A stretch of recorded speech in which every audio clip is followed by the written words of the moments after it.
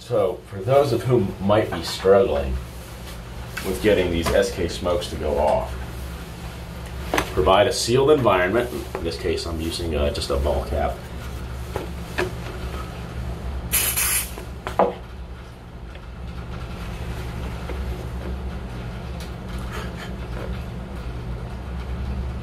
Just give it a second. And once you hit again.